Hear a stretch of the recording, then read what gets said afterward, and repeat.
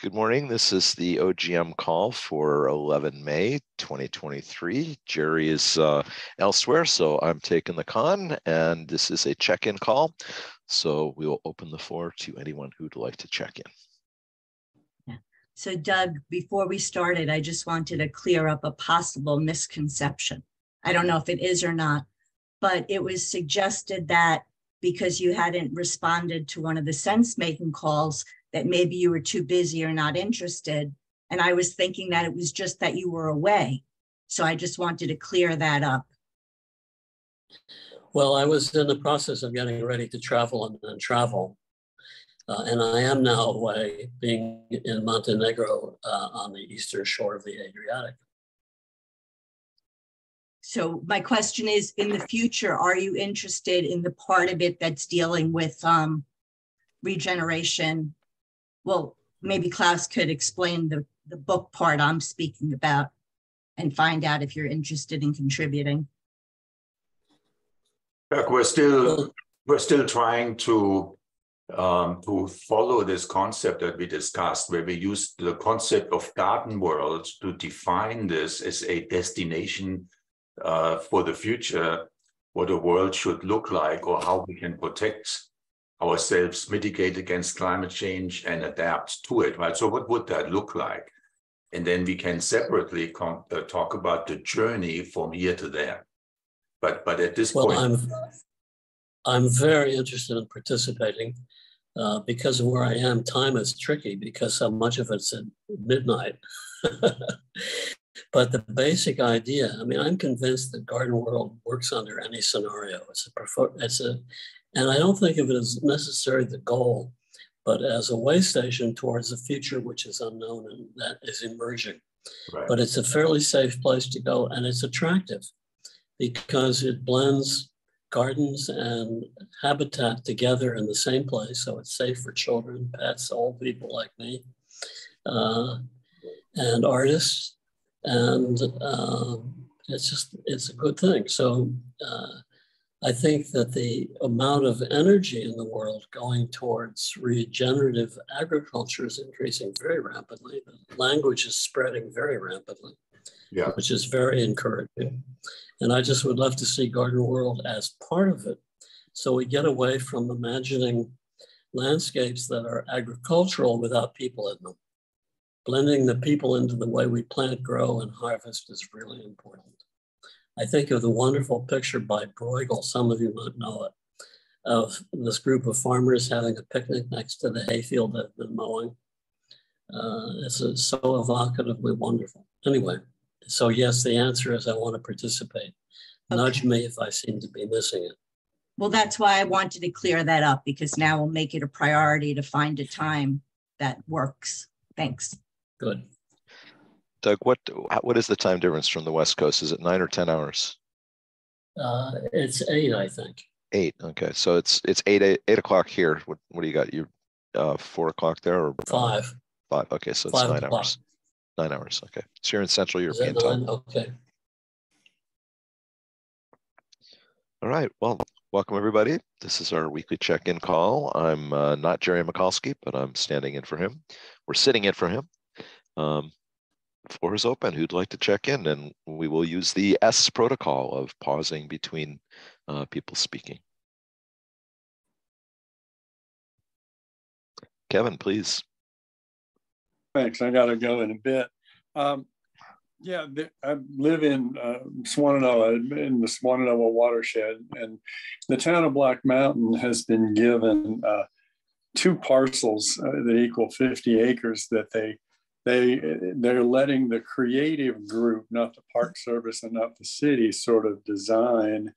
And they're having a three-hour thing tomorrow, a meeting. You know, take up three hours on Saturday but they want to uh, be open to any new idea. And this this uh, this group, it's it's a group of activists who then formed uh, as the Trails and Greenways and Park sort of group. Um, they're interesting. They've done like a story uh, trail around the lake, you know, with histories and stuff, and they do they walk you through neighborhoods and with history and stuff. And um, you know, I'm exploring the idea of being sort of involved as a citizen, even though it takes three hours. And uh, it's just kind of interesting um, because this this is land that is not easy to integrate, which makes it sort of interesting. They're going to have to create access to it. There's a private rail crossing. There's a tunnel under the highway, and so the but you know that means that it won't be used like other land because you know you'll have to park and walk a good ways to get there or something. You know it, it won't be easily accessible, but it's really super interesting land. And one was a, a, a, a subdivision that went bust that never started, and an old lady's bequest, and they, they happen to be kind of stitched together next to each other. And just uh, the idea of sitting in three hours where they want you to have different ideas about imagination that could last for 50 years if you stick with the process is, is an interesting thing. And I'm I'm I've decided it's worth giving up three hours and I'll see how I stay engaged, but I think it's it's an interesting idea.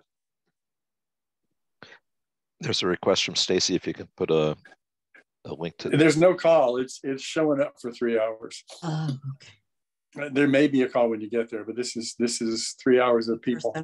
Got it. Yeah. Well, please report back. Let us know how it goes. Yeah.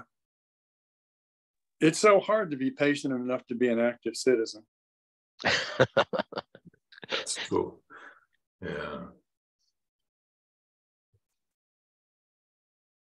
Yeah, it's something else to be an active citizen. I did have um, actually a really good week last week. Uh, we did a presentation to the biofuel sector, and uh, I'm, I'm here my speaker notes. You can see that I was very blunt, you know, in the way that uh, we addressed this group. And this was hosted by an online magazine, which is the largest of its kind publication. They have a very large uh, international uh, circulation uh, to, to the biotech sector and biofuel sectors. And there were two there were two things that came out of him out of that conversation that really surprised me. I was speaking for about 15 minutes. My my partner also so combined we spoke like 20 minutes. Um, so my partner is from the biofuel has a biofuel background. He was a CEO of a biofuel company, billion dollar company.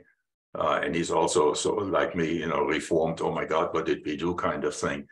Um, so there were two things that came out of it. First of all, about 40% of US corn and 11% of US soy is used for biofuels. That is now in direct competition with the food supply. Because the when you when you see when you think of the Ukraine, you think of uh, the crop outages and and and yield reductions we had last year, uh, the food supply is really precarious already. So this is just, I mean, it's just not sustainable, you know, to use uh, food crops for biofuels. So there are other crops that, that you can use. You know, you can use uh, uh, oil seeds or cover crops, you know, or or uh, uh, grasses, you know, the, the, the, perennial grasses that don't that don't compete with the food supply. But that work requires coordination with the regular agricultural sector so this was the first time that I'm aware of that we actually had a conversation between biofuels, which is running totally on its own track, and the farm sector, farm and food sector in the regenerative uh, uh, So that was what that was, you know, uh, pretty amazing. Then the other thing was, these were all mostly engineers, right? Uh, and one of them all of a sudden got the idea. So how does this work? How do you, how does agriculture put carbon into the ground? Was through photosynthesis. But photosynthesis is direct air capture when you think about it, right? I mean, it captures, uh, it screens the air and pulls carbon and nitrogen out of it. So the engineering minds were going, oh my God, you know, this is uh, uh, this, and and we in in the deck we inserted that how many gigatons of carbon you could sequester on an annual basis, you know, if you really deploy regenerative agriculture at scale or, or, or, deploy photosynthesis on a broader level, including reforestation and, and wilding and stuff like that. So, so that was for them, you know, that, that, that ensued a debate what a waste of money it is to develop direct air capture technology. And there are billions of dollars in the Inflation Reduction Act allocated to that technology. It's a complete waste, you know. It's, I mean, they were explained, one of, one of the engineers explained how impossible it is, you know, to use that technology to make an impact because you would bankrupt yourself in the process of building, you know, so much capacity. So anyway, um, so now we're, we're, we are we are moving forward with uh, this this uh, um, this mind um, this model, you know, this this picture of a, a uh, of bioregions to be developed, you know, in the for for for um, for the environment to become the responsibility of the community and to have the food supply work around this and, and deal with the restrictions, limitations, and potential you know, of a bioregion. So, so I thought that was pretty cool. And, and uh, um, that, that was, I mean, from, from the world that I'm listening in on, that was a major breakthrough. So that was a good one. Klaus, who were the people in the audience that you were speaking to? What kind of people were there? So they were mostly engineers uh, and and uh, and uh, so the biofuel sector, you know, uh, not just engineers but also salespeople and you know, plant managers and so people involved in the biofuel sector, and then in biotech. So biotech is, for example, making uh, fertilizers out of uh, biomass, you know, things like that. Um, so, so and, and, then materials that are made are made with with bio uh, reaction. Uh, so, were there any policy people in there? Anybody making policy or government oh, yeah. representation? No, I don't think that. I mean, this was a very technical group, um, but they were aware of legislation on the way, and this is really another important learning, right? You, you, uh, which, which yesterday I had a meeting, you know, here locally. You have people who are getting into the into the business. Now they, they want to innovate stuff. They have a new product. You know they want to create something. People just don't know about how the political process works you know. So here in oregon right now in salem you know there are several bills on the table that would assist farmers to get into the market for example to get market access right so, so they are they, the legislative process is nebulous to to most people. And my point is, you know, when you have uh, business associations and you know catering to startups and innovators and so on, you have to pay attention to the regulatory process that hems you in, you know, and you may need to have a change. Then you need to know who to talk to to make a change. You know, in the and this is super local because much of the restrictions are the local zoning laws, you know, uh, things of that sort. So, so uh, uh, and and this is true to be a citizen, right? You have to be now educated on the political process. So, mm-hmm. and I think it's a big wake up time for everybody right, right now to see what are these guys cooking up there in, in, in Washington, but then also in your state, which impacts your business and impacts your, your way of life.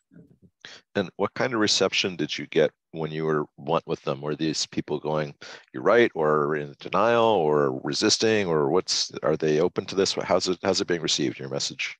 It was. It was awesome. I, I was so not prepared to have such a positive uh, reception to the topic because what I was putting out there, when you look at my slides, was basically, you know, without food, without fixing agriculture you may as well forget anything else you do because you know it's going to push us beyond two percent by far. You know?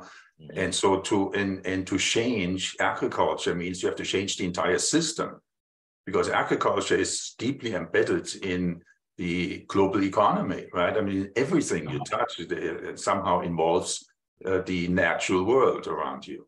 you know, so so uh, no, they were ready. You know, I mean, they were super skeptical on this uh, uh, air, air uh, capture technology that's being pushed on them. You know, but and and uh, um, yeah, no, it was it, it and, and totally like yeah, we understand the food supply has issues.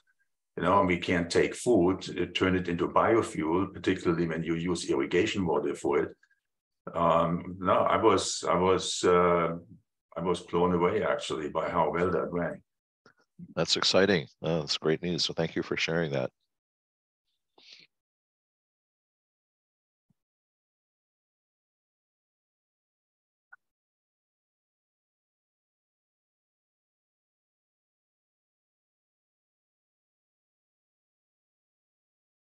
So everybody, we're doing check-in.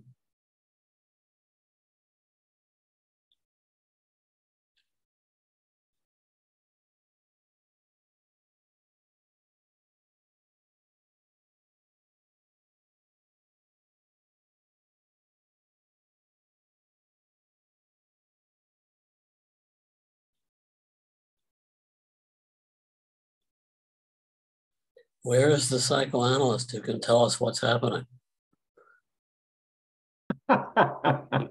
so so that's a great prompt doug and i will i will courageously pick up on that okay?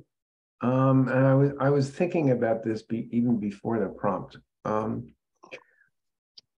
in some ways i think we're at a juncture that the human species has never been at before um i don't think there's ever been a level of um mass destruction that human beings have caused to the environment. and um, you know, the the I mean the metaphor that I always use is that we're killing the goose that laid the golden egg. I mean, you know, the natural world of which we are very, very much a part of um, is so critical to our survival. You know, it's our home. Um, and so, you know, Klaus, that was a great story because I think that more and more people are um, are waking up to this fact that um, business as usual um, can't go on. Um, you know, it's interesting. I had a metaphor in my own life with a major health challenge that I'm dealing with right now, and it's kind of like you know, life in its existing form has to change. Uh, it can't go on the way it is. And so, as we kind of awaken to this fact, um, it demands all of our creativity and our innovation. And you know, who knows what it's gonna, what what it what it, what it might look like and where it's gonna go. Nobody knows. Um, the other point that I want to share by way of personal check-in is I was I was sitting and reading the other day a couple of days ago. And I, I live right on the bay, and it was about five o'clock in the afternoon, and the water was kind of lapping in. And I looked out, and there were the plants.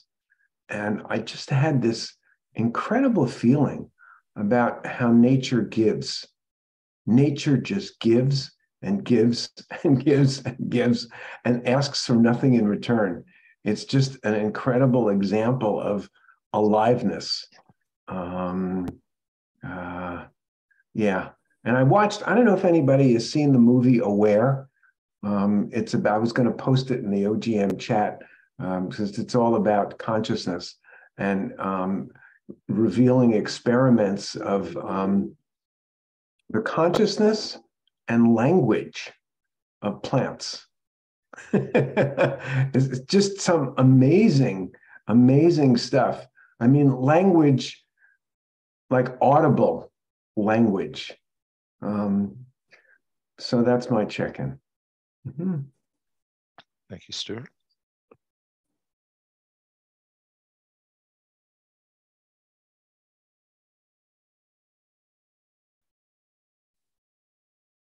Oh, one more thing. I also, Doug, I sent you a private message because it it related to Garden World. Um, I just read something about the um, Tainos Society. I don't know if anybody knows about the Tainos Society, T A I N O S. It's the society in um, in Mexico that um, when the Mexican con- when the Spanish conquerors came over, you know, uh, uh, Columbus time, they found this beautiful society um, that existed without war, et cetera, et cetera, et cetera. Um, so there's precedent for Garden World. Historic precedent. Mm-hmm. You can find a lot more historic precedent for Garden World if you read The Dawn of Everything. That too. Mm-hmm. Yeah.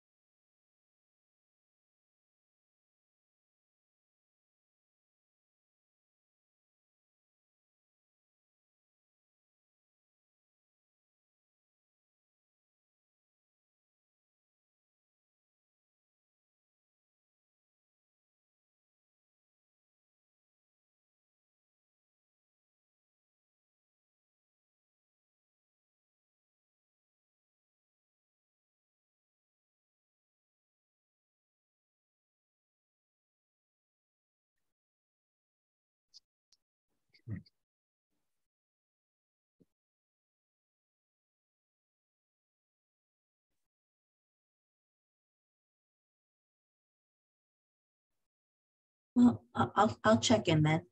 Um, I mean, it wouldn't be my normal check-in, but Ken, you posted an interesting article on the OGM list. It was about Mississippi learnings.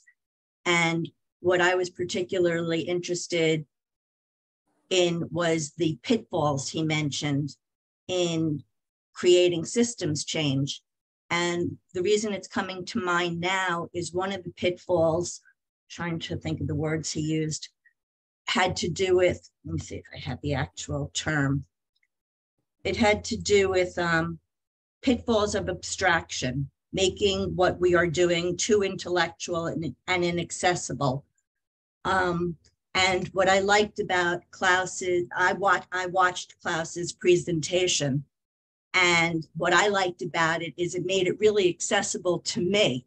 So I walked away all of a sudden thinking about sunflower seeds and how a simple thing like changing recipes to sunflower seeds and how you know creating a demand for sunflower seeds could possibly influence why people would start growing different things. You know just sparking different ideas and I think just having access to these kinds of talks, which I didn't have access to 10 years ago, is such a positive thing. So I just wanted to mention that. That's what's coming to my mind right now. Thanks, Stacy. Yeah.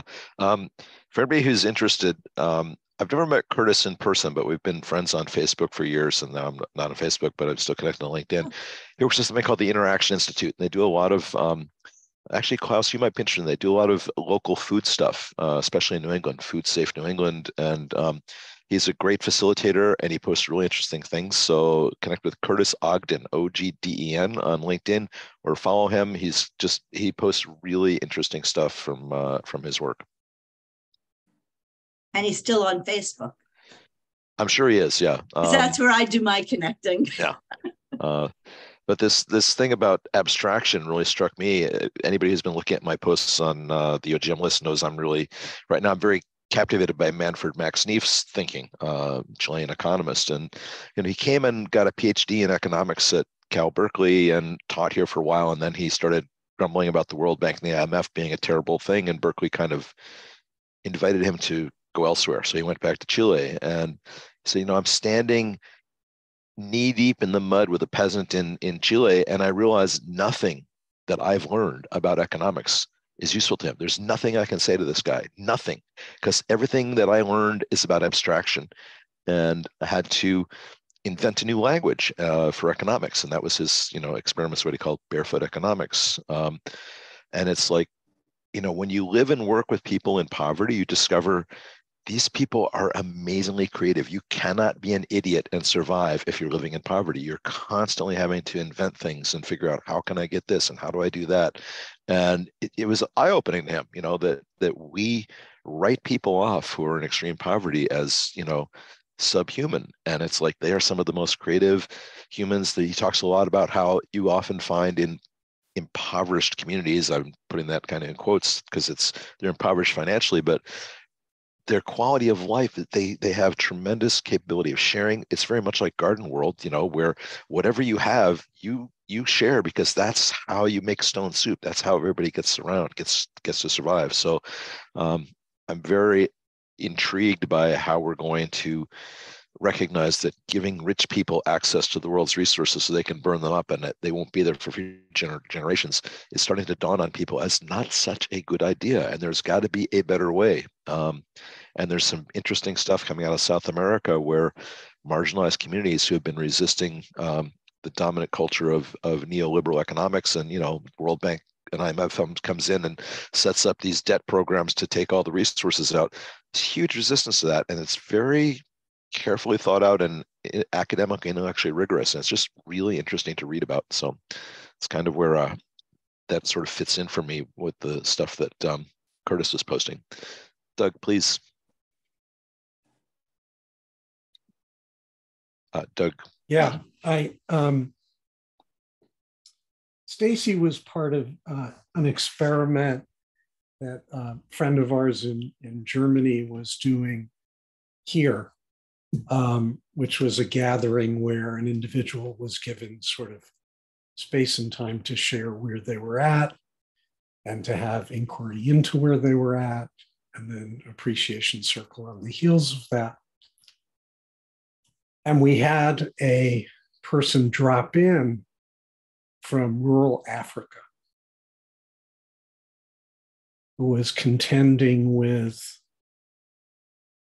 um, the flood that had just taken out like six months worth of work. And, and I forget the, the, you know, the connection and web that had him converge with this. Um, but I remember him sharing toward the end of the session how amazed he was that a group of people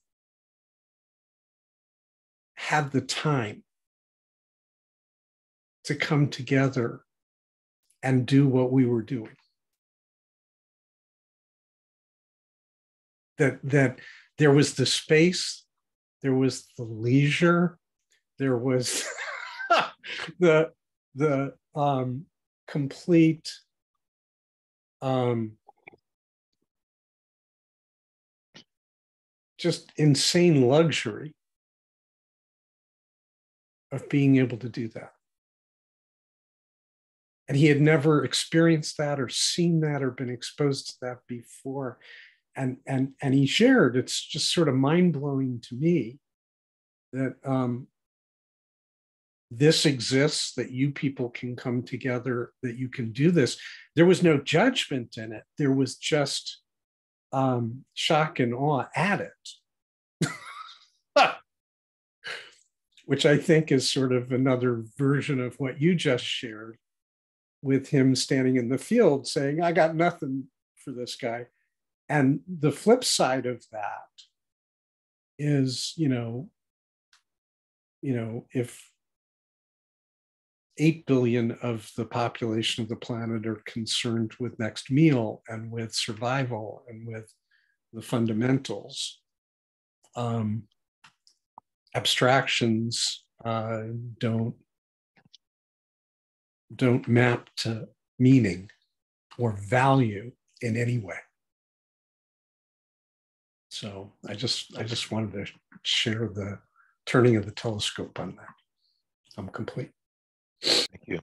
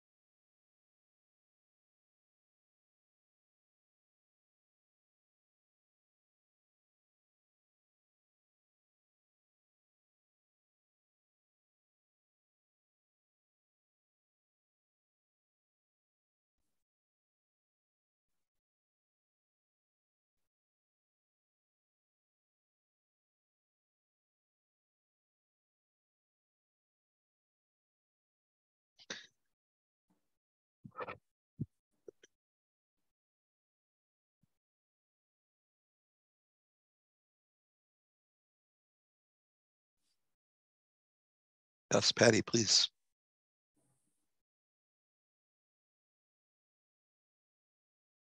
Um, I will, I don't know that I have much to check in around other than there's um just a, a project I'm working on um that I could use. Um, I'm looking for examples of governance systems that use power in a way that seems to contribute to the health of um, all humans within that system. Um, anything from it doesn't matter the size of the governance system or the population that is um, using the system or involved in the system, um, but I am on the lookout for examples of governance systems that seem to use power in a way that supports and um, contributes to the health of all involved. So if anyone has ideas around that, that would be helpful for me in my project right now. And I don't know that I have anything else to check in around right now. Can you give us a little bit more context? Like, are you looking for organizational examples, uh, governance, uh, you know, um, elected representation? Uh, you know, what what specifically would be most useful to you? Thank you. That's a that's a helpful clarifying question. Um, I need to think about it for a moment. Sure, take your time. I had a thought recently about this, uh, which is that uh, in our society right now, many people are hurting. If the society was organized as a well meaning corporation, what happens in a corporation if there's a problem lower down in the organization, the ethic is that you pass it up to the level that can do something about it. You don't let it uh, fester. Uh, that would be organizational hierarchy at its best. Uh, there's a lot wrong with it, but that's also pretty interesting. And we don't have that in society. I would add on to that, Doug. Uh, I'm working with a company right now that it's a $15 billion organization, and they really seem to understand the principle of subsidiarity, which is ensuring that wherever the problem exists, the local at the local level, the local people have the ability to deal with it. They don't have to raise things up and wait and go through channels. So, um, you know, they're doing a lot of work around um, uh, providing middle managers with coaching opportunities and, and helping them to understand influence as opposed to power because you know you have to influence people who you are, are not they're above you. You have no no direct line of authority with them. And so how can you get them to engage with what your project is and support you? Um, and i think that's another aspect of um, power tends to consolidate and the principle subsidiarity is trying to distribute power. So it's a very dynamic tension that you know if you have people in the system who want power very hard to get them to let go of it and, and distribute it to where it needs to go because they want to control everything.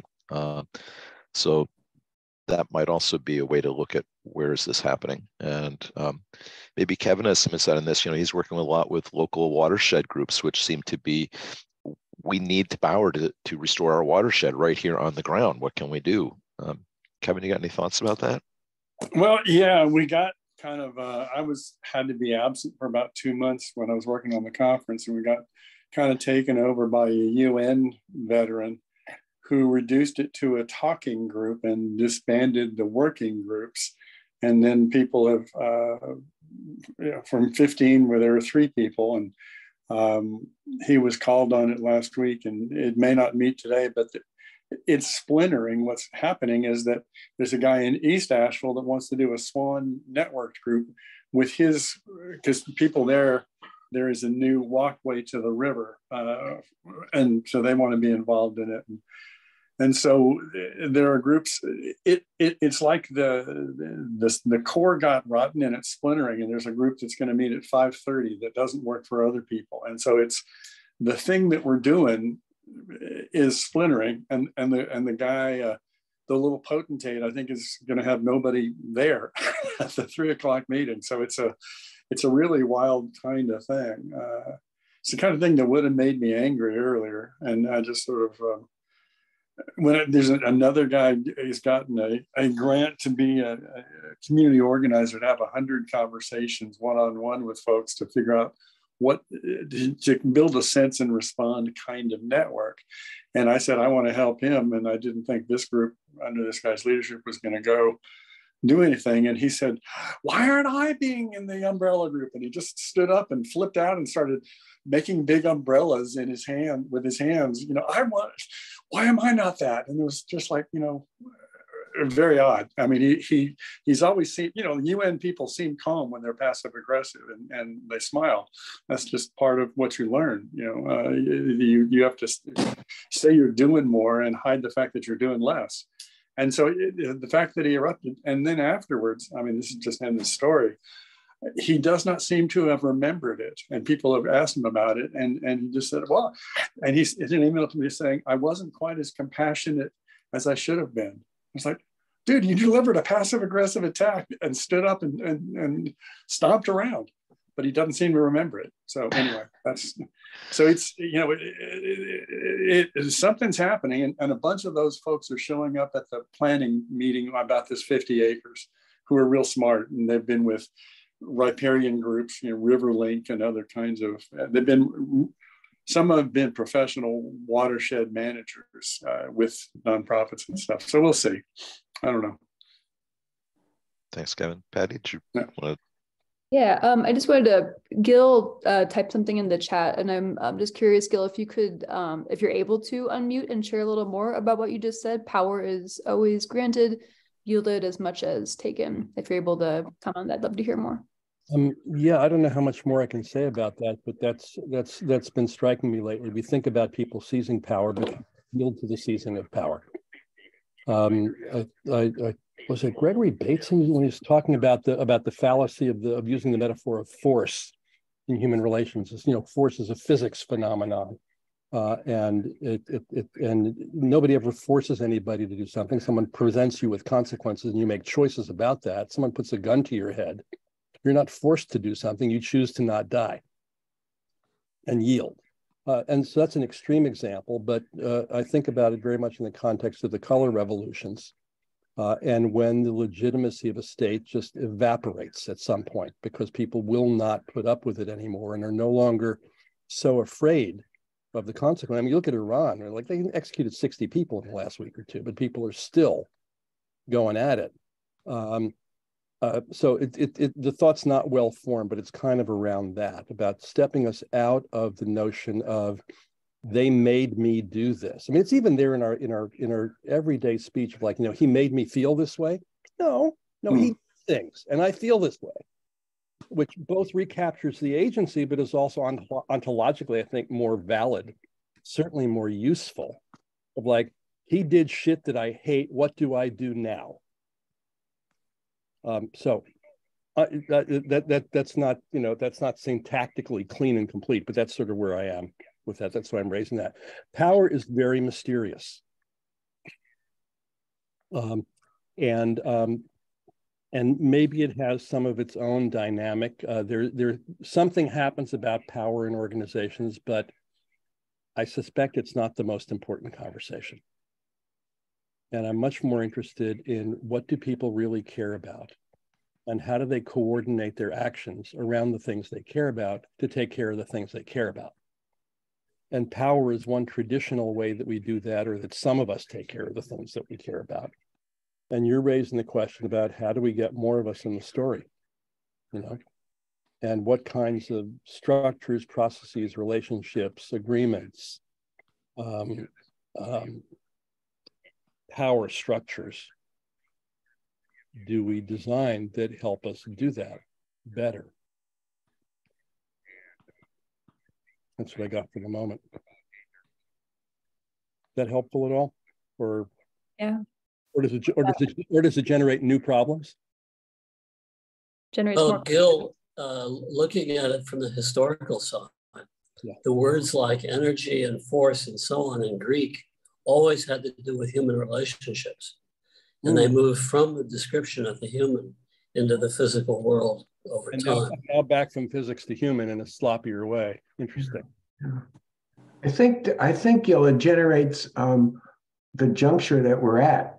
That we absolutely need to learn how to do that, because the way we have been being, and this is you know, this is a, a, a page out of Doug B's book um, you know, the way we've been being isn't working.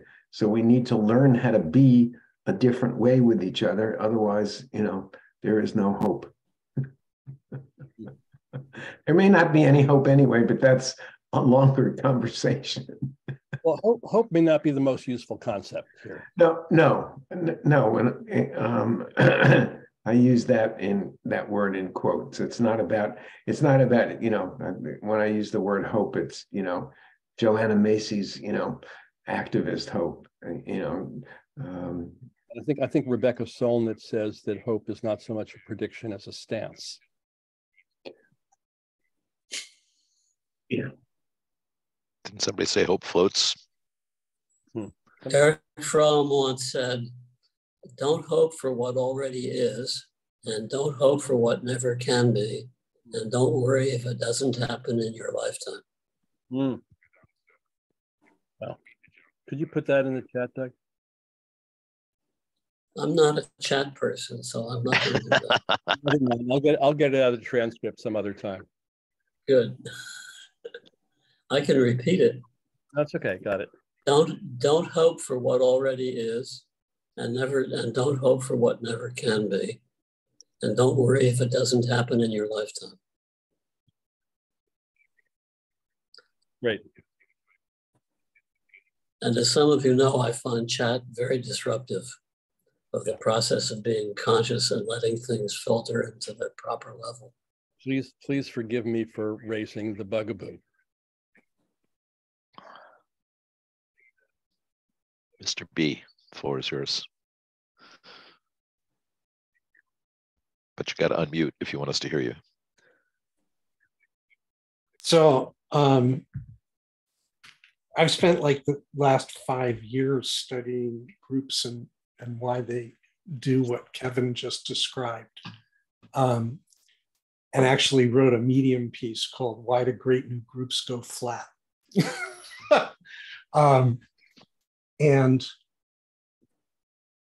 in service to this idea of doing us differently and doing us better, um, the universe is this creation machine, and we get exactly and literally what we ask for. And so, if an if your inquiry, Patty, starts with the meme of power, then you're going to get power. Um, if you are curious about how what replaces what has been known as governance and power structures in um, people co-creating together in hierarchies or other. If your if your inquiry is how do we do that differently? How do we do that better? Then um, you don't invite power to the party. Like that's one of the first things at the top of the list is uh, whatever the new is, I don't want any of that mm-hmm. to be a feature of whatever the emergent new is. Mm-hmm. So um, when you take that out of the equation, um, and power sort of extends into power control over authority, right? So you need the minute you invoke power, you have somebody who has it over somebody who doesn't. Otherwise, it doesn't exist conceptually, semantically, meaning wise. Um, if you take it out of the equation, um, it means that um, you sort of needs be shift into something that's much more peer to peer in nature, decentralized, um, much more organic and biological in terms of sensing, feeling into what is needed by who, where, when. Um, and then how does a collective respond to that? So it's really a complete inversion and a complete transformation of the orientation of the way you're looking at how you're doing what you're doing with others and how they're looking at it and the way they're doing with you. and consent sort of arises out of that emergently as a, as a governing principle.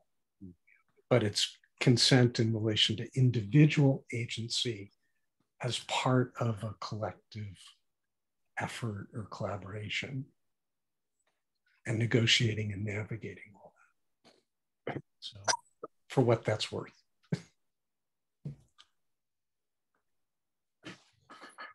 Thanks, Doug. Um, I could I could offer a little more context around the question I had posed um, earlier in the meeting, and I think this I I'm afraid this isn't going to. Um, these are really unfinished ideas, and um, I'm I'm afraid I'm not going to be able to articulate them as clearly as I'd like. But um, just as as a thought exercise, what I've been playing around with is the idea that um, power, whatever that word means, because I think that can mean a lot of different things to different people. Um, but let's say, for our purposes, power, not just in the more how it's traditionally spoken of or understood sense of, you know, the, you know, billionaires' wealth, um, authority, you know, that, that power over power that we tend to speak of, but also the intrinsic power, personal power that we um, many are, you know, I, would like to think we're born with. It's fairly universal. Um, and I think people have access to it to different degrees for different reasons and different circumstances. But for our purposes, what is the underlying I, I, just I just can't help but think that they're probably something close to like laws of physics that govern power transfer and power um uh yeah let's say power equalizing and power transfer between two people but also within ourselves and i'm really curious around what uh, governs that transfer internally, what dictates the, the um, movement of personal power, how we relate to ourselves and our own power, how we relate to other people and their power. Um, and I, I, I'm curious around whether or not um, I think the uh, Monday, no, the Friday Society 2045 group heard me speak on this a little bit, but I um, am curious around how much personal power is actually a biological um, necessity for life, right? And so if personal power is or acts as a homeostatic function, does that change?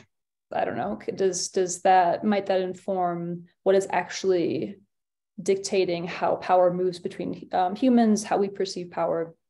Um, and so the question earlier about looking for governance structures that exemplify, let's say, power being used in a healthful way. I'm curious if there's a um, micro and macro relationship between healthy power use. So is does there exist a governance structure where power is being used or moving in a way that actually supports the entire system? And I just was looking for examples of that so I could kind of try to see if something like that could exist within one person how power is managed within oneself. So that i don't know if that if that actually gives um, clear context. It may not but that was um, a little more of the intention behind the question. And that's where my curiosity is that might have just made things more confusing but that's where i'm at so I know Gillian and Kevin have their hands up. Is this to respond to Patty or something else? So let's respond to Patty first. So it's, it's to respond to Patty, and I can go into check into my check or not. It's not. So it's just a little thing. Okay. So me. Okay.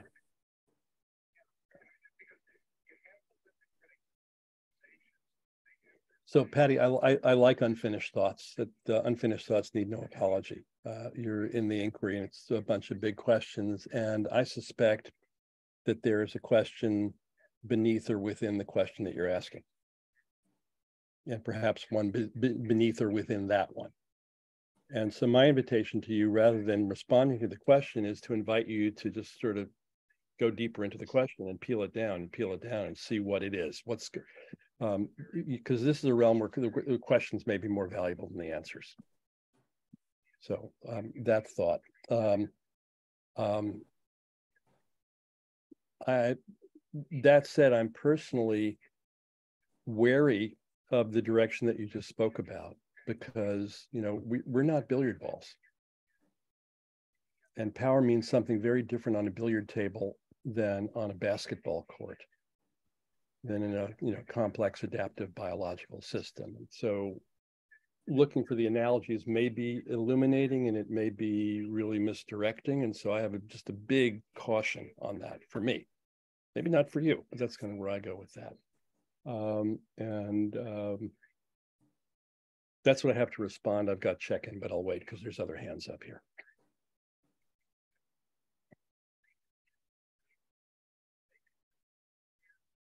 I'd like to drop my little thing in. The guy from the UN has written multiple books about compassion, and some have been translated into whatever they speak in Nepal. And the, uh, the, the most passive aggressive guy that I know, like him, has also written books about compassion and once had a network of 25 compassionate cities. So it's like if somebody has written a book about compassion, I have now become wary, just for whatever it's worth.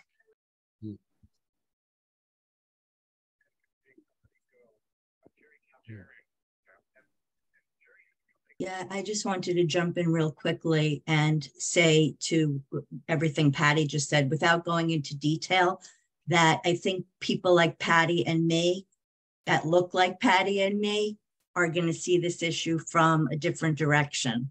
And I'm just going to leave that there.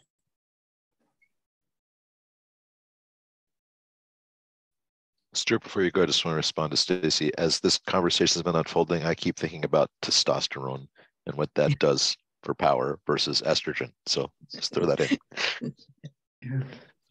And I just wanted to um, make sure I threw in the distinction between, um, you know, personal power and, and positional power, um, which is just a, a kind of a critical piece. And and you know, the more I roam around in the world, the more that I see um, the lack of people exerting gravitas of real personal power.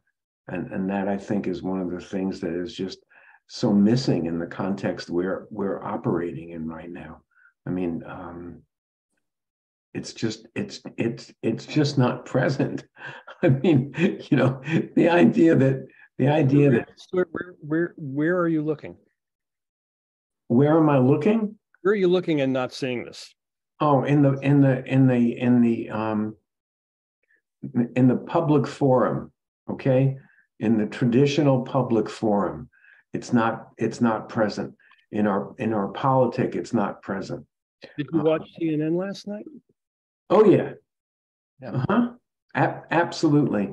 Um, and and and that's a that's a good example, Gil. I didn't I almost didn't want to bring that in, but the fact that um, that a major political party in the US, i.e., Republicans, that there's nobody standing up and just coming from a place of, of, of ethic, a place of morality, a place of um, seeing is, is not calling Trump out and that this is the leading candidate for a major political party. But, but you didn't say there was no, you know, ethic. You said there was no power and gravitas, and Trump is certainly exercising power and doing it rather masterfully. Uh, y- yes, and okay, he's also doing it in a manipulative, yeah, yeah, yeah. untruthful, yeah, yeah, um, yeah, unethical, yes, so way. But you said there that you're not seeing power.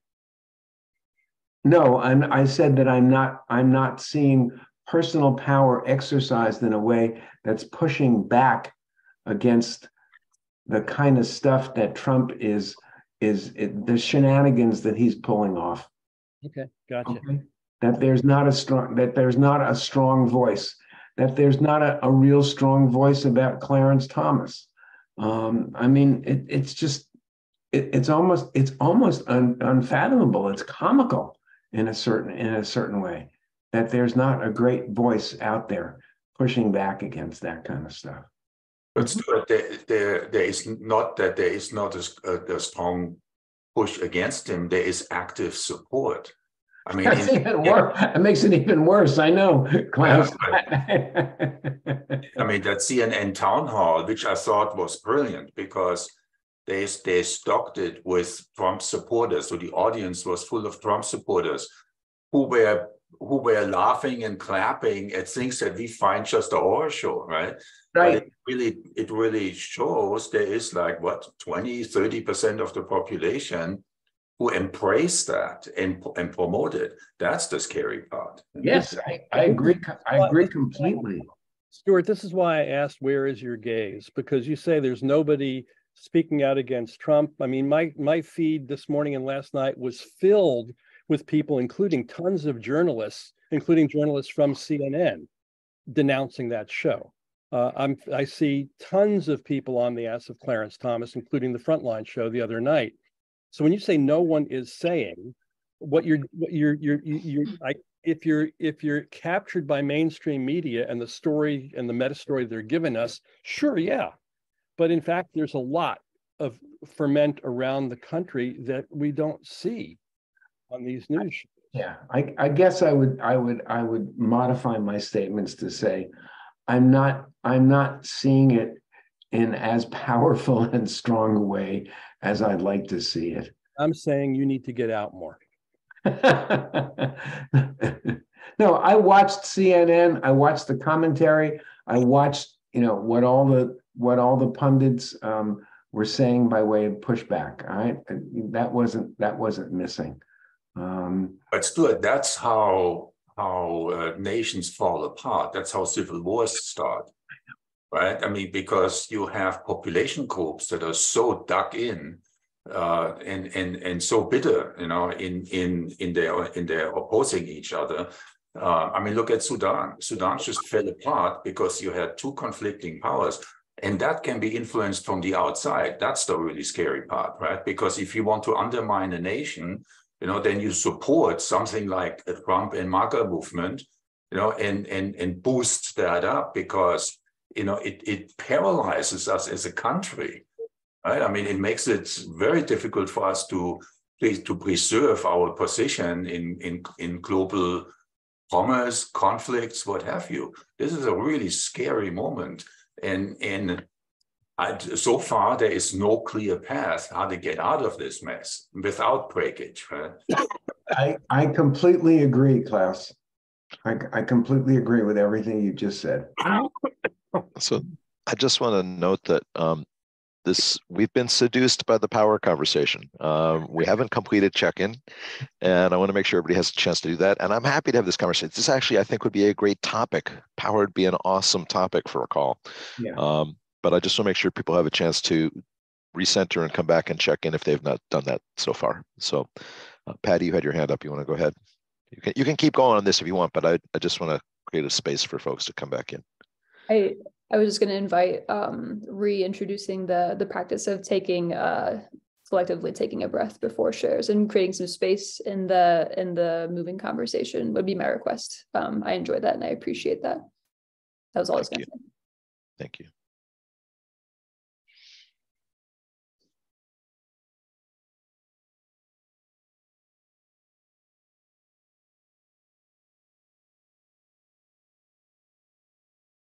And before I forget, I would like to add that I think when we do talk about power, we spend a lot of time talking about how we give our power away.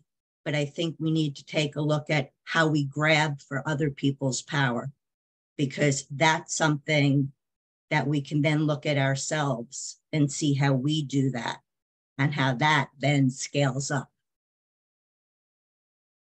Thank you. Klaus, please. You're You're muted. muted. You're muted, Klaus. Does that really happen to me? I posted uh, uh, a video from this Dr. McGilchrist here, uh, which really captured my attention. It was really an amazing talk. So the guy is basically focused on uh, the brain hemisphere, left brain and right brain. And in this conversation, he's pondering, you know, that um, our, our Western culture is left brain dominant, uh, which causes a conflict in the right brain that leads actually to a disassociation from reality. So we live in a deluded world because the right brain is, is into sense making modes that uh, may not make any sense. I mean, that that that, that create a distorted uh, perception of reality, right? And um, I, I, thought it was it was really. I mean, basically, he, he thinks that Western culture is in a state of schizophrenia, um, induced by uh, the way that we make sense of reality, you know, of the of the natural world around us. Um, and and that, that leads us to this you know ex exploitation and and a, a, destructive way of living. Um, but i think i mean i don't have enough i mean it's a really complex topic. I mean it's a very rich conversation. I mean if you have time to listen in uh, i think it's really worthwhile because i think there's more to it. You know because they are they are right brain dominant cultures right? Um, who are expressing themselves in, in one way. And then there's the Western civilization, which is left brain dominant, uh, causing all kinds of, of, uh, of issues in the way that we structure and organize our society. Uh, so I don't know if anybody uh, uh, has more on this. I, I just you know, thought it was a fascinating uh, introduction to, to trying to understand us ourselves. To that point, going back to what um, I had posted from Curtis Ogden around uh, abstraction, the left brain takes things apart, analyzes them, abstracts them. The right brain is holistic and sees things in context. And when you have a left brain dominant uh, stance on anything, you're you're not going to see the whole picture. You're going to start to to abstract things, and then if you don't put them back together, you get into trouble, as we all are right now. Doug. You got it's a little it's a little bit orthogonal, Klaus, but I think relevant to, to where you just went. Um, so there's a there's a friend of mine who's, who's one of the fathers of, of um, bioacoustics recording in the natural world in the wild um, named Bernie Krause. And his PhD thesis was on something called the niche hypothesis, which was the biome in a particular location is the way it is because each of the, the creatures that landed there found their frequency open and clear to be able to communicate with each other. Hmm. That was the defining factor. And every location is unique in terms of that mix. And but one of the other dimensions of it is that in the natural world and, and as living beings, each living being has its own frequency, vibrational frequency energetically as part of its intrinsic vitality, like the living dimension of being a living creature. And um, and Bernie posited what he what he referred to as nature deficit disorder, that not being exposed to that mix of frequencies and energetic vibrations and fields over time produces psychosis. Hmm. And that on a global and cultural level, everything that we have done in terms of the Western developed world is to cut us off and insulate us from um, that those domains, energetic vibrational domains, and actually electric, electromagnetic domains in terms of being insulated from the earth with shoes and concrete and all of the rest, which, which is all about separating and severing any connection, vital connection to the natural world around us. Uh, and I, I think that's sort of intrinsic to the same subject domain you just pointed to. Thanks, Doug.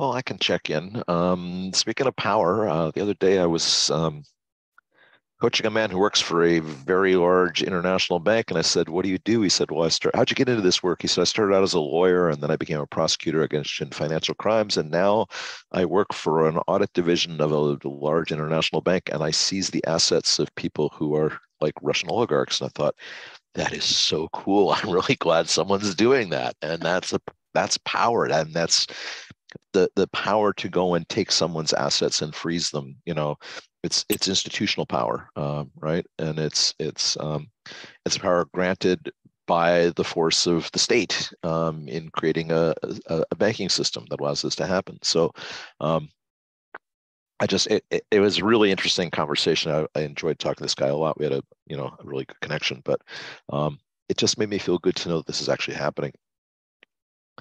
In other news, um, my friend Gil here and I we host these monthly calls called Living Between Worlds, and we're in conversation around the next call, and and this is related to this call in some ways. Of I'm really interested in looking at the future and in, envisioning and imagining a future that works where we are on a planet that works for everybody, where the governance is set up so that all human beings and all life in the system is taken care of.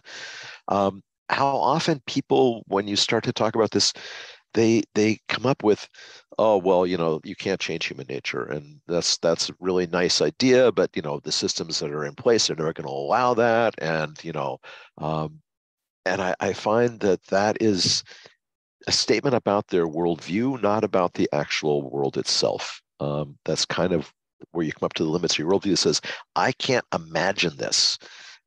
It's been tossed around in OGM before um, that it's easier to imagine the end of the world than the end of capitalism. And I think this is part of our, our problem. We have a, a lack of imagination. And I wish Doug um, C was still with us because I'd like to hear his thoughts on this. But um, I'm really curious to know if people have uh, a way of observing when they bump up against the limits of of their worldview of gee you know um, i'd love to see the world work but man it's such a mess and and people are the way they are and it's never going to happen so i might as well just be happy that i lived when i did and you know i'm uh, i'm not going to worry about what comes after me which i find to be a a moral lapse um, you know, we are all embedded in the flow of humanity. We don't get to say, I had my time and my peace and I got my stuff. And sorry about all the rest of you coming after me, because that does not, in my mind, live up to what our, our debt to life is. I'm reading David Graeber's Debt the First 5,000 Years, and there's a lot of cultures that see when you're born, you owe a debt to society because people gave up resources to bring you into the world and you take up you know you, it takes a village. People have to sacrifice in order to raise you up and and and make you into a, a, a mature human being. And so just by virtue of being born and living you owe a debt to people around you. And um, I think that's one of the things that's really that's an abstraction we've done in our weird cultures, Western industrialized, rich, educated, democratic cultures, where we think, hey, you know, it's just me. I'm just a I'm just a, a billiard ball, bop, you know, bopping around. So, um, how? My question is, how can we be more aware of when our um, we bump up against limits of our own individual worldview, which we take to be the limits of the world? because there's way more beyond what we can see or think about. And if we put them together, uh, instead of saying, well, that's how it is, we start to say, well, what do you think? Oh, you think that? Well, that's interesting. Maybe there is a chance, you know? So, how do we collectively get into imaginal spaces where we can start to think about what a world that works for everybody really could look like without worrying that that can't happen because you can't change human nature and human nature says you're always going to have war and you're always going to have you know people you know grabbing everything they can for themselves that is a story that we tell ourselves, but it is not one that that has held up throughout history because we only have this tiny little piece of history, Western history. You know, we think everything started with the Greeks. Well, you know, there was a long period of history before the Greeks came along. Um, so anyway, that's just stuff that's that's on my mind. Um, and if you want to engage in more of this, come to next Wednesday's Living Between World calls at uh, at noon Pacific uh, till 1.30. It'll be going to be it's going to be wild. Be there. it's every it's, it's it's third Wednesday of every month, and the title is Living Between Worlds, but the subtitle is With Grace, Dignity, and Power. So this power conversation has been threaded throughout for the past four years, sometimes explicitly, sometimes in the background. Um, it's going to get interesting for the rest of this year. If Ken have anything to say about it. Do you see the link, Patty? Just just scroll up. You'll see Gil's um, Between Worlds, there's a, a link there. I do. Thank you. Missed it. And and Moral Imaginations is uh, from Phoebe Tickell in London, and it speaks, Ken, to some of what you were talking about. Uh, in some very eloquent, provocative ways. And in fact, Phoebe and uh, McGilchrist have a conversation together. McGilchrist is all over the place lately in dialogues, 75 minute dialogues with lots of interesting people. And one of them is with Phoebe. Cool. Patty, you have your hand up. Uh, was that a rhetorical question, uh, Ken, when you were asking like how how do we notice when we're bumping into the edges of our No, world? I'm happy to hear. It's not rhetorical. It's it's definitely if you've got a, I think a I take do. on that, please let us know. Yeah, I think I think personally I I I pick up on that when I hear in my own um you know in my mind I hear the language that's like it doesn't always actually sound like doesn't apply to me, but it's iterations of doesn't apply to me. Um I'll I'll hear stuff like that, but it also usually is combined with a it's like a somatic um it's like a visceral sense of it's not resignation. It's it feels kind of like a flatness or a dullness. I'll notice it there. Um definitely if i feel um like afraid. If i feel if i'm hearing about something i don't understand and i'll i'll clock in or check in or check that i'm, I'm noticing like a sense of like tightness or unease um that that can be for me a cue that like oh wait is this something like what is this? Oh i don't think i actually understand what this is or what this means. Um you know is there something for me to learn here? The answer is you know yes right um most of the time. Um yeah i i I think i think those are the ones that come to mind uh immediately and most easily for me Thank you. It's great and good somatic awareness. It's lovely. Gil, you said you wanted to check in, and we haven't heard from Carl or Mark. And welcome, Mike. Thanks for joining us for, for the second time today. Mike, like me, has been hopping between calls. I'm also uh, taking care of appliances and all sorts of other things. Sorry. No worries. You're here. You know, you whoever comes the right people, whoever at the, whenever you show up is the right time. So that's my philosophy.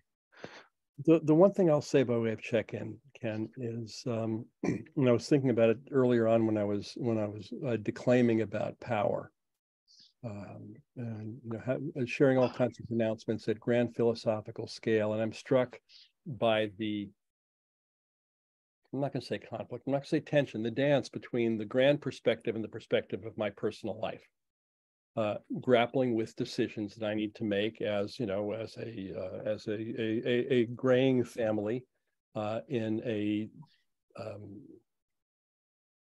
oh, what to say in a very messy society, um, and you know the financial and health management and strategic and logistic, et cetera, and relational decisions to make in the midst of that, very concretely. Um, and I just noticed myself, you know, listening. I, I was saying things about there is no force, right? There's yielding to demands or not. Um, and it's easy to say that. In my direct personal life, it often feels like there's force. Um, and so it takes a real settling down and stepping back and looking for clarity to see oh no no even even though it may feel like that on the face of it in fact there are there's an array of choices and consequences that i can look at more dispassionately. Uh, i mean doug doug c is not here anymore. I was intrigued that doug c talked about that the i was decrying the shift from power as a physics metaphor to a power as an emotional metaphor he said no no the greeks actually had it back before as an emotional metaphor uh, so I'm intrigued by that and how we um, how we form and navigate our interpretations um, as we move through the world. Uh, and so I'm very present to that both on a you know sort of, sort of philosophical, ontological, political, strategic perspective, and at a personal, relational you know, me, my wife, our family, our friends, but also our clients and our colleagues and the organizations of our clients. So very ramifying scale. So um, that's sort of a rambly check-in to say that I'm um, I'm grateful for that particular mess of thoughts and what it might open up. And um, I was I was talking with my friend Chauncey Bell yesterday, who reminded me that what's um, that the answers are never as interesting as the questions. That's why I'm an Episcopalian. the church with all the questions. Great, Mike. That's why I'm a Jew. Terrific. But you're you're you're special because not only do you have good questions, you always have five answers. Which means more questions, right? of Well, course. That comes from being a Jew. Put put three Jews in a room, you get 12, a- 12 opinions. So, you know, Is it is it my turn? yeah, sure, go ahead. Okay, I, I didn't, I didn't wait the obligatory twenty-seven seconds.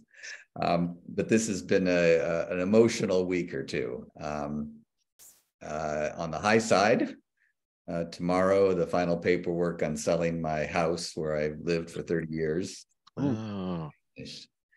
And luckily, we seem to have timed it pretty well. It's a nice spring day. The house looks better than it's ever looked. Uh, flowers all around.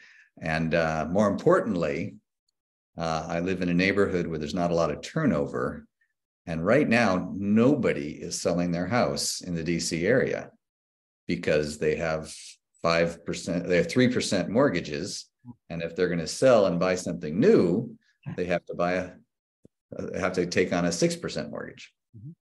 Um, I'm newly married, and so I'm living with my wife in her townhouse now, and we don't need a house. And so we just got rid of that, don't have to mow lawns or anything like that anymore. Um, so that's a huge weight off my shoulders. It took uh, more than a year to organize 30 years of my life that was in the basement. Um, thank God for storage lockers.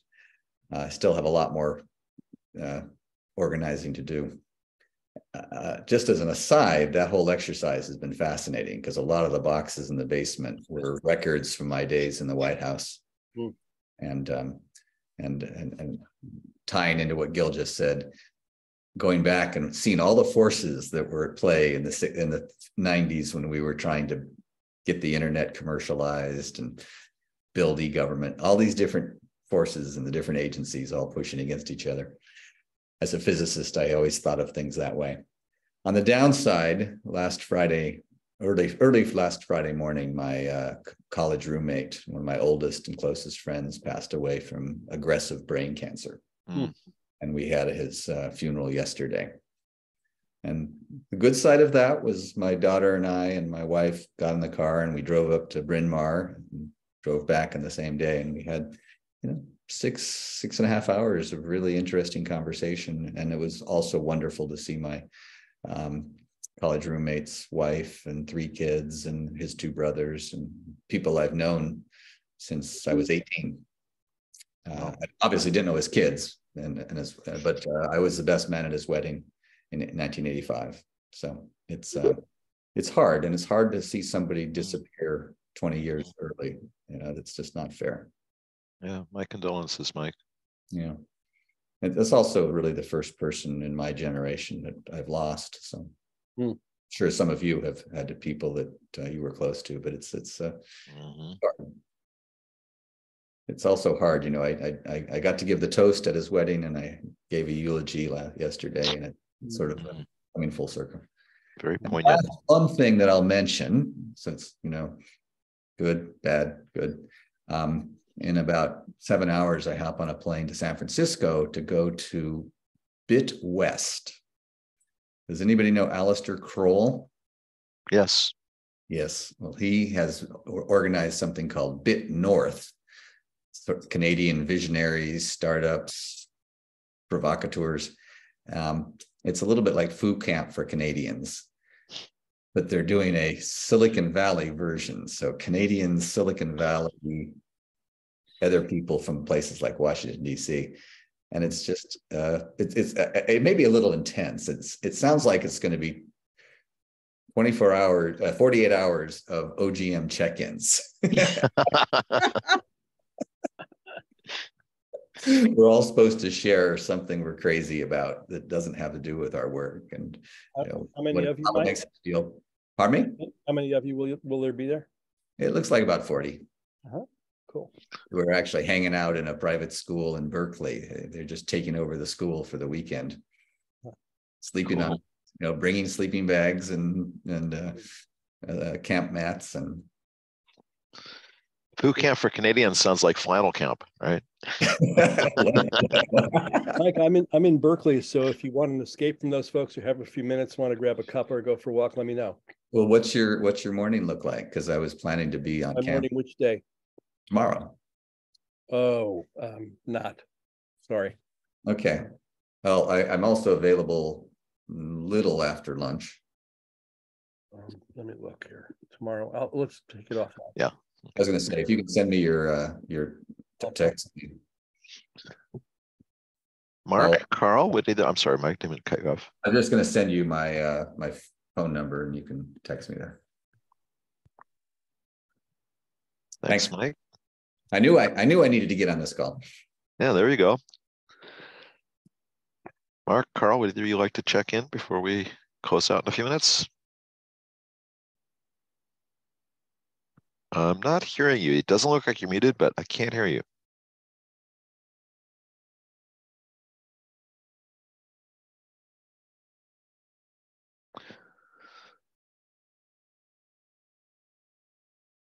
Doug is back.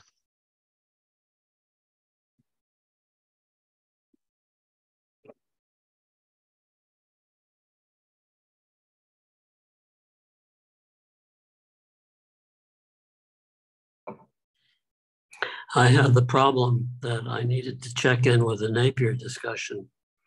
Oh, Uh, um, And I realized I probably have a- some personal stories about Napier that the people in the group didn't have. Uh, For example, at one point Napier hired my son uh, when he was 16 to do some work, project work for GBN. And that became a glue between the three of us that had lots of impact. nice. Did you want to check in, Doug, while you're here? Um, I kind of thought I did, but maybe I didn't. It was a I long time ago. it wasn't a long time ago. Yeah, sorry, uh, you did actually, but um, my Well, I- brain gets full from these calls. Hard to track everything. I guess the, the two stories are that I'm in Montenegro uh, on the Adriatic on purpose, and that is living in Northern California. I felt fairly remote from climate change effects and conversations. And I think this part of the world is going to get hit really hard this summer with water problems, temperature problems, and maybe even food problems. And I wanted to be closer to the conversations in a kind of anthropological way. So I've put myself here, I don't know for how long, 90 days, maybe even more, uh, to experience this. And it's already paid off a lot by providing me with images that I would never have thought of, which is time for another story and another time. Uh, the other part of the check in might be my continual puzzlement of, over how people think about climate change or don't think about it uh, or think about it and don't talk. Uh, and I come down to, you know, the US historically is a problem solving society. That's what we think we're good at. And we're not doing hardly anything to frame climate change as a problem to solve. And I'm really curious about that.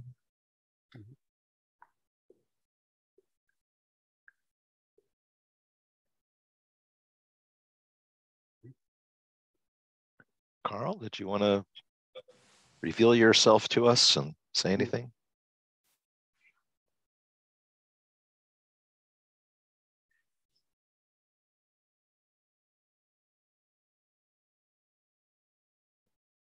Okay, Mark, did, are you, can you speak now? Is your computer accepting your voice?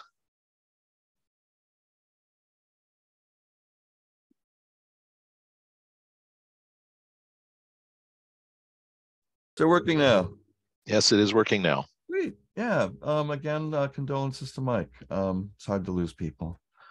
And um, one of the things about uh, climate change in California, um, with all the growth, um, I'm anticipating some wildfires. Oh, yeah. Yeah.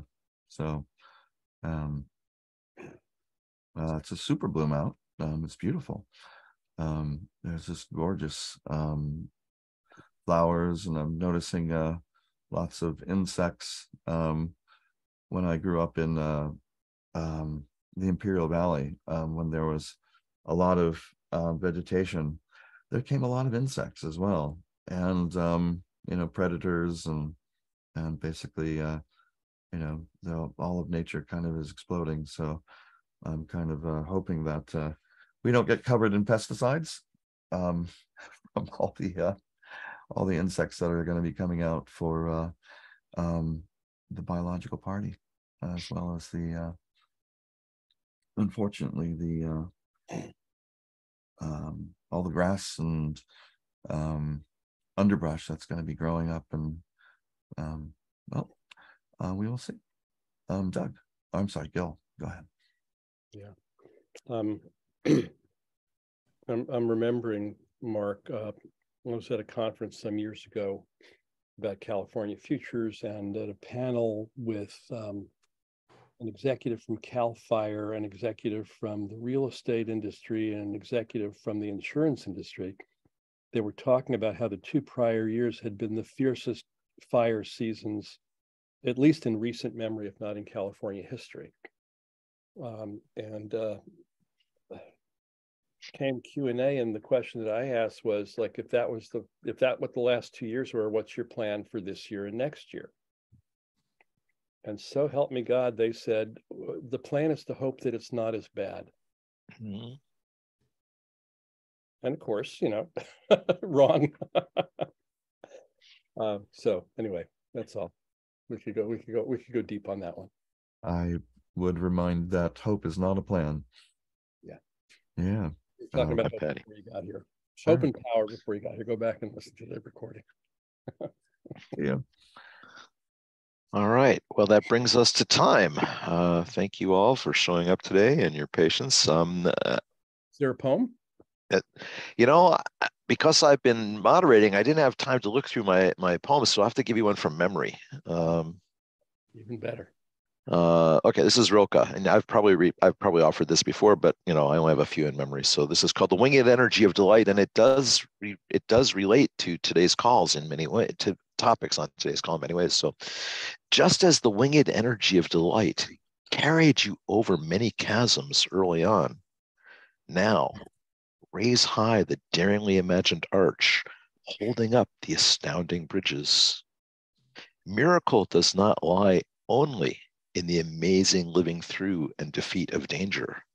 Miracle becomes miracle in the clear light of achievement that is earned in the world. Working with things is not hubris when building associations beyond words. For denser and denser the pattern becomes, and being carried along is no longer enough.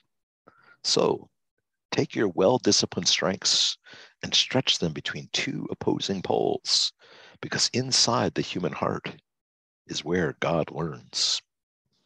I wish you all a great week. It's lovely to see you today. Have fun. Bye bye. Have a great day.